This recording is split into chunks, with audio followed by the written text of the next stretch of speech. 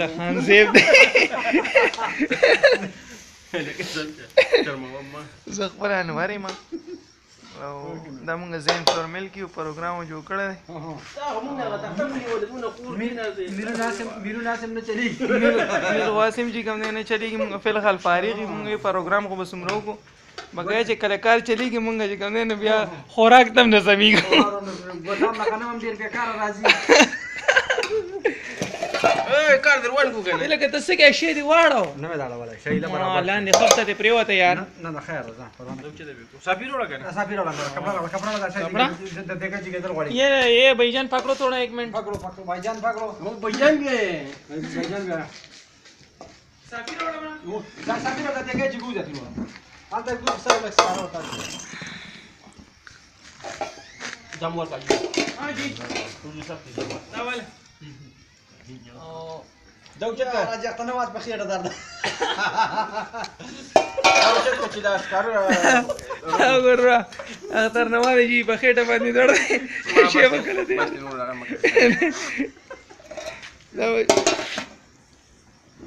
دا هنسي به شي واړو کنه دا دی ولې نه دی اړو دا خو نه دا نه اړولي